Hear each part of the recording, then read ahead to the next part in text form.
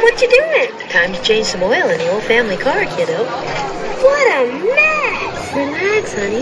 We'll just hose it down when I'm finished here. But Mom, that'll go right down the storm drain. It'll go straight to the ocean.